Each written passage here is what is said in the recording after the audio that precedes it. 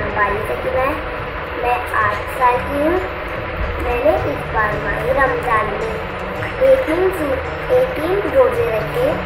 मुझे बहुत अच्छा लगा रोज़े रख के और मैं इन अगले साल पूरे रोज़े रखूँगी।